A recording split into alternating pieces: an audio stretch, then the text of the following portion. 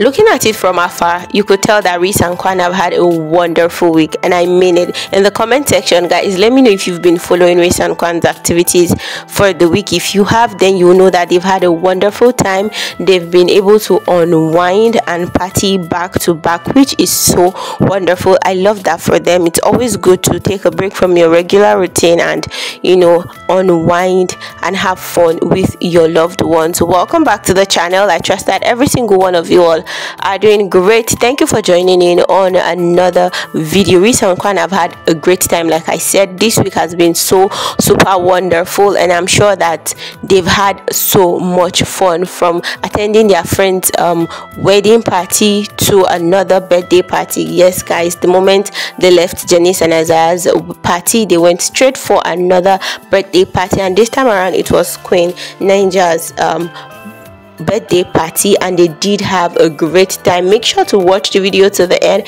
and in the comment section let me know what y'all think. I think they've done a great job with balancing parenting and you know having fun. And shout out to grandpa clean and grandma p for taking care of the boys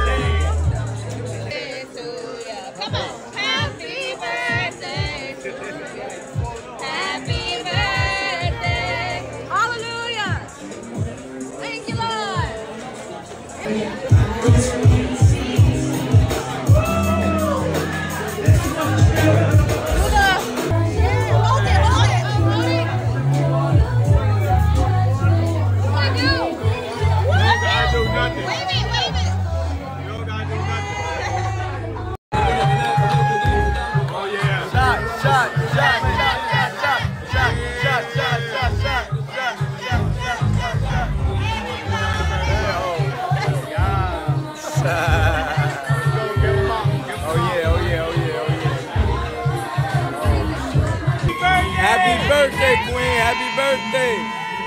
Yeah.